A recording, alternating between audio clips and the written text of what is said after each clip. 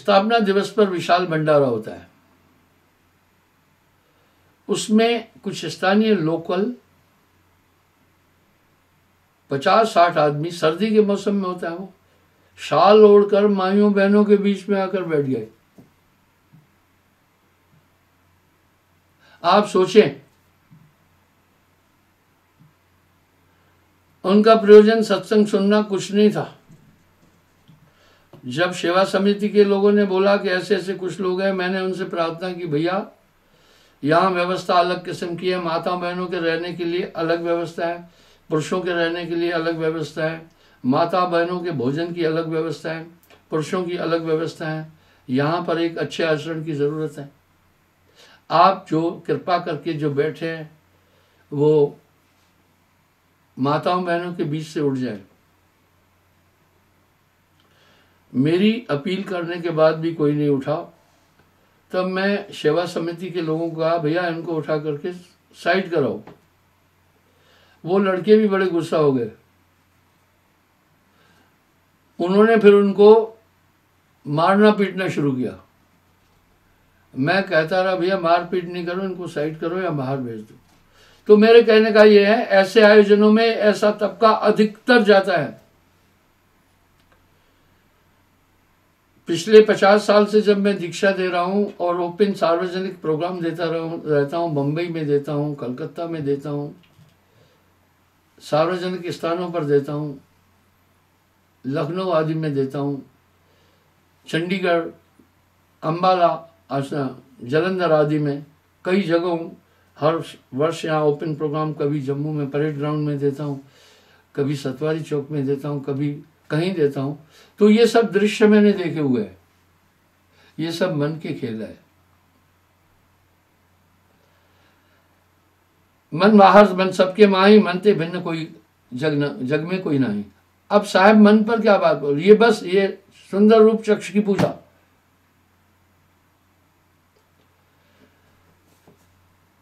संतों तन खोजे मन पाया।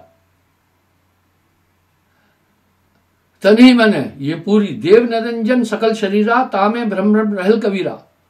यानी ये पूरा शरीर ही एक जाल है, माया जाल है। इसमें आत्मा बंधी हुई है, आप इसको समझो। पराधीन सुख सपने नाई बहुबंधन ते बांधिया, एक बिचारा जीव। अरे जीव बिचारा क्या करे, जो न छुड़ावे पी तो बंधु इस तरह अगर संतो तन खोजे मन पाया अगर पूरे शरीर का मंथन करोगे तो मन ही मिलेगा। तन ही मन है। ये पूरी बॉडी मन है। इंद्री मन है। ये समस्त इंद्रिया मन है। इस देह का एक एक तान इस आत्मा को विरमित करने के लिए है। यहाँ साहब एक शब्द बड़ा सटीक बोल रहे हैं। तेरा बैरी कोई नहीं। तेरा बैरी मन।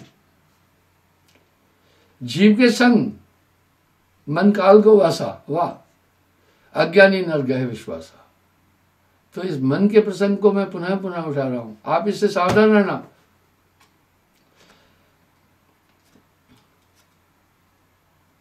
मन दारुण, बहुत दुख देने वाला है।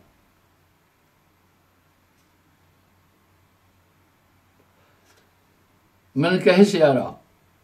मन तासे और बने प्यारा।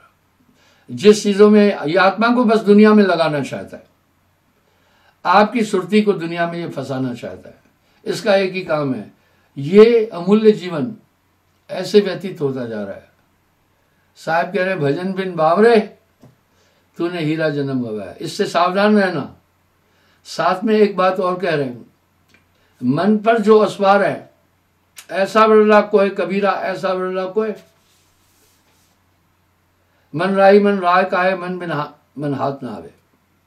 मन बाहर, मन सबके माई मन ते भिन्न कोई जग नाई कहत कबीर, सुनो भाई साधो, जगत बना है मन से।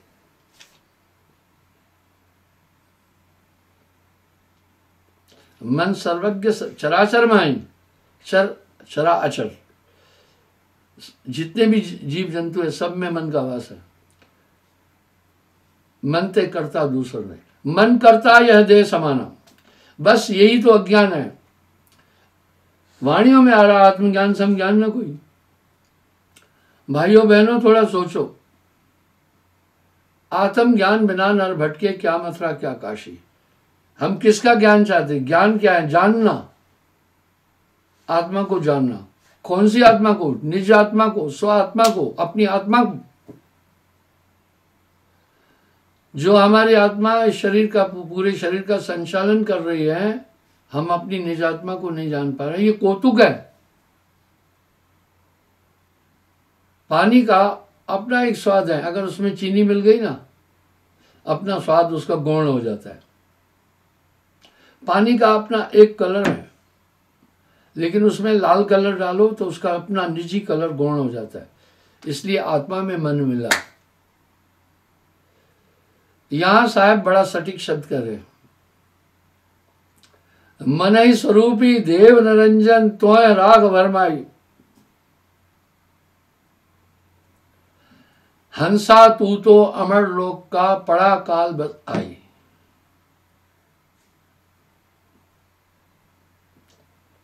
मन लोभी, मन कृपण हुई। इसकी वृत्ति अच्छी नहीं है।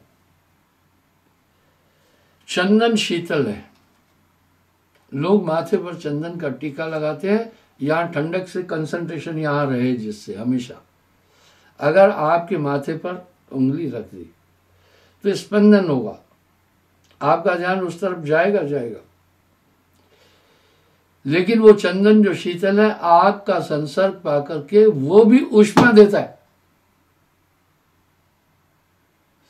सुरा पात्र में अगर अमृत भी रखोगे, दूषित हो जाएगा। इस तरह ये पिंजरा बड़ा क्रिटिकल है। इसमें आत्मा बहुत दुखी है। देह धरे का दंड है भुगतत है सब कोय ज्ञानी भुगतत ज्ञान से और मूर्ख भुगतत हुए ये देही एक सजा है। अच्छी बात है, इसमें बाकी ग्रंथों में भी वाणी आती है, धर्मों में भी कह रहे हैं। ईसा मसीह जी कह रहे हैं हम सब अपने पापों के कारण पृथ्वी पर है। सीधी बात है साहब के सिद्धांत को वो स्वीकार कर रहे तो बंद हो। इससे आप सावधान रहो इस, इसको भूलना नहीं कभी भी मन आपका बहुत बड़ा शत्रु है। बस मन पापी मन अगढोई। मैंने एक वाक्य कई बार बोला सौ मन साबुन से अगर एक कोयले को कोई धोए उज्जर नहीं हो सकता। लेकिन कोई कहे कि, क्योंकि उसकी तासीर ही ऐसी है। लेकिन कोई कहे कि सौ मन साबुन से हमने कोयले को धो धो कर सफ़ेद किया, थोड़ी देर मान लेंगे।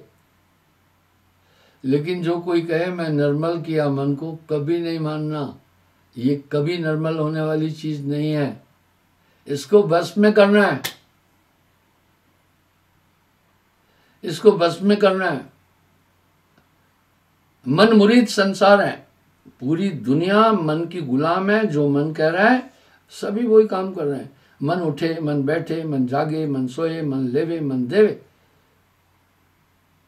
इसलिए गुरमुख की का इतना बड़ा महात्म बोला।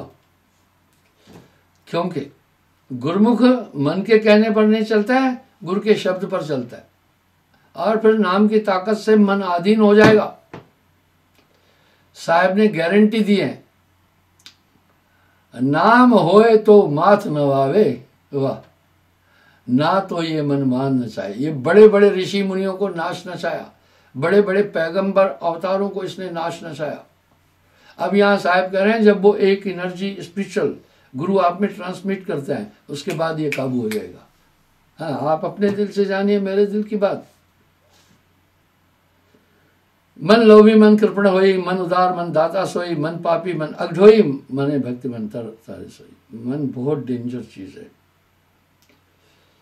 मन ही आहे काल कराला। जीव नचाए करे बेहाला मन के अंग पर, साहब ने और सुमरन के अंग पर, काम के अंग पर, नारी के अंग पर, क्रोध के अंग पर, भक्ति के अंग पर बहुत शब्द बोले हैं। कितने शब्द बोले हैं? कह रहे हैं, चार माह जिम बरसे मेहा।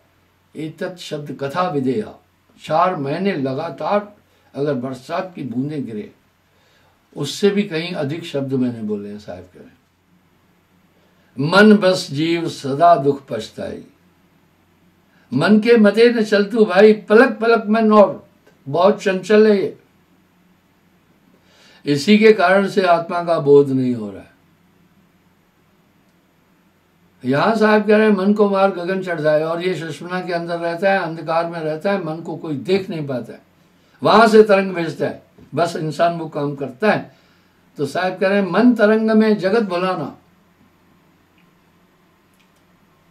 करता जीव, रंग मन आई। शोभा सकल रंग के माई। अब आत्मा उसका अनुकरण कर क्यों रही है? अज्ञानवश कैसा अज्ञान कैसा ज्ञान? आत्म ज्ञान समज्ञान न कोई। आत्मज्ञान से बड़ा कोई ज्ञान नहीं है। अज्ञान आत्मा को न जानना। क्या हुआ वेदों के पढ़ने से न पाया भेद को? आत्मा जाने बिना कोई ज्ञानी कहलाता नहीं। इसलिए ये बहुत चंचल है। सभी ये कह रहे हैं कि आत्मा के साक्षात्कार करने के लिए एकाग्रता जाओ। ध्यान ही वेद शास्त्र कहते हैं, ध्यान ही संत बखाना। और ध्यान में सबसे बड़ा व्याधान डालने वाला मन है। जब आप ध्यान में बैठेंगे तो आप देखना मन नहीं बैठने देता है। कई लोग मुझे ये आकर बोलते हैं बोला, मन का काम यही है। सुखमन मध्य बसे निरंजन मुंदा दसवां द्वारा। मन का काम यही है। मन जीव को भरमा सोई। घूम घूम कर, घूम घूम कर, मक्खी की जैसे बुरी आदत है। मक्खी आप देखना, आपके मुँह के पास आती है। आप काफ़ी इरिटेड होते हैं। वो कुछ खुराक के लिए आई। आप बार बार भगाते, फिर वहीं आते ऐसी उसकी वृत्ति है। बस मन हमेशा विषयों में आत्मा को खींचेगा। ताकि आत्मा अपने स्वरूप को नहीं जान सके। इसलिए तो मन से बड़ा आपका वैरी कोई नहीं है।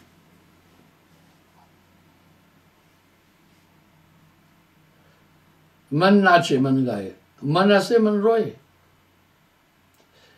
ये सब काम मन के आत्मा तो शांत है। दूसरी बात, आत्मा का कोई भी गुण नहीं दिख रहा है। ऐसा दबा दिया है। सूर्य स्वर्णवन प्रकाश है उसका। बादल का संसर्ग पाकर वो कालुक्ष हो जाता है, वाह। हालाँकि सूर्य कालुक्ष नहीं हुआ, पर अवरोध आवरण ऐसा आया। बस आत्मा स्तर चार अंतकरण के संग आत्मा खराब। चार अंतकरण क्या है? मन, बुद्धि, चित्त, अहंकार। चारों मन है। भाइयों, बिना मन को नियंत्रित किए आप कभी सुख नहीं प्राप्त कर सकते। जन्म मरण का कारण ही मन है। इच्छाएँ मन से होती है, उसके कारण से पुनर्जन्म है।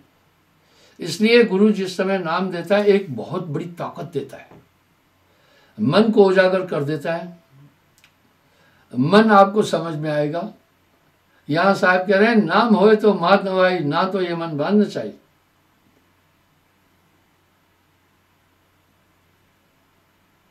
मन मलिन दिश धावे। बस बाजीगर का बांद्रा। ऐसा जीव मन साथ, नाना नाश नचाए के राखे अपने आप। बाकी उपासनाओं की तरफ़ ले चलेगा वहाँ आपको। आपको अगर कहे चार धाम की यात्रा जाना है, मन बड़ा प्रसन्न हो जाएगा। अगर कहेगा चार बार ध्यान में बैठो, ये कभी भी नहीं बैठने वाला है। चार धाम की यात्रा में इसको लाभ है, कई दृश्य देखने को मिलेंगे। अलग अलग किस्म के भोजन व्यजन मिलेंगे फ़ौरन तैयार हो जाएगा। ये तो वही मसला है। मेरे छोटे भाई का एक बेटा है, अनाम। वो स्कूल जाने से पहले आधा घंटा रोता है। छोटा था तब। एक दिन मैं ध्यान में बैठा था, इसने रोना शुरू किया। रोना भी कैसे था? जैसे एक तान होती नहीं है।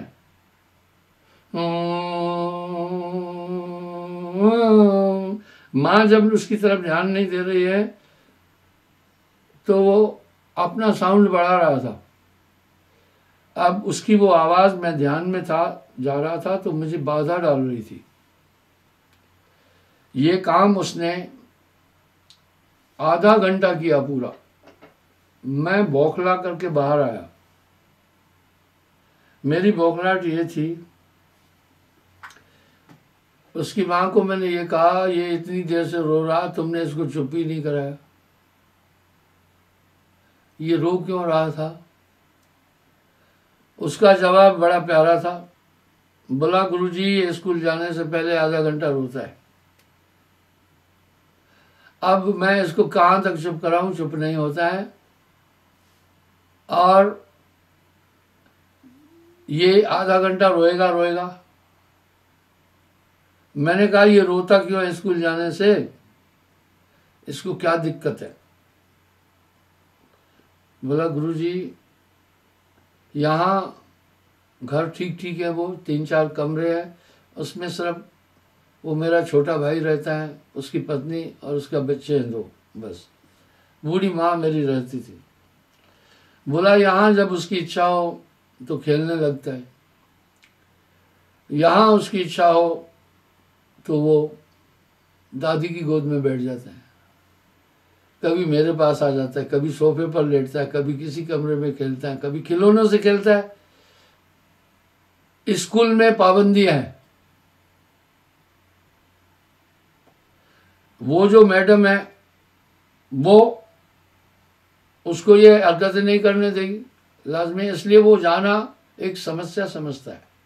पर एजुकेशन कितनी ज़रूरी है, वो माँ बाप समझ रहे फिर एक दिन वो थोड़ा सा बड़ा हुआ, था थोड़ा शैतान था, है अभी भी। तो फिर वो रो रहा था, थोड़ा बड़ा था। उसकी माँ ने अपने पति को आवाज़ दी, वो खेल रहा था घर के बाहर गली कूचे में क्रिकेट होती रहती है। मैं भी उस समय खेल रहा था, गया था भोपाल तो। बोला स्कूल नहीं जा रहा है। बोल रहा है, पापा साथ में चले, तब जाऊँगा। मैं उसके पास गया। मैं बोला, भाई, पापा क्यों चले? तू जा. बोला, ना, पापा चले. पापा चलकर दीदी को बताया, यानी टीचर को। एक तो वो मुझे मारे नहीं। मारती होगी। दूसरा मुझे लिखने के लिए नहीं बोले। उसकी दूसरी शर्त थी, मुझे लिखने के लिए नहीं बोले। अरे तू स्कूल जा रहा है, जब लिखने के लिए नहीं बोलेगी तो ये कैसे हो सकता आप लोग भी ये कहते हैं, महाराज, बस पार करना, हमें सुमरण के लिए नहीं बोलना। बस ये कृपा करो। अरे भाई, सुमरण की अनंत महिमा कही। राम एक तापस्त्रियतारी नाम कोटि खल कुमत उबारी। गोस्वामी जी कह रहे हैं कहना करो मैं नाम बढ़ाई, राम न सके नाम गुण गाई। फालतू एक घंटा सोचना है, ये उसी में लगा रहेगा। गई बीती बातें सोचने इसमें लगा रहेगा सुमरण में नहीं जाएगा। चोर को दो चोर दो चीज़ों से बचता है। एक चोर को रोशनी से नफरत है। उसके काम में रोशनी बाधक है। उदाहरण के लिए कोई चोर चोरी किया तो आदमी भनक लगी, पकड़ने की कोशिश करता है। रोशनी में तो कोई ना कोई पकड़ लेगा। अंधेरे में अगर किधर भग भग गया, पता ही नहीं चलेगा गया कहाँ, तब तक वो दूर निकल जाता है। दूसरा चोर क्या, किस चीज़ से डरता है? मुझे कोई पहचान नहीं सके। इसलिए चेहरा ढकता है, बाकी चीज़ करता है, ताकि मैं पहचाना न जाऊँ। इस तरह मन सुमरण से डरता है। मन चोर है।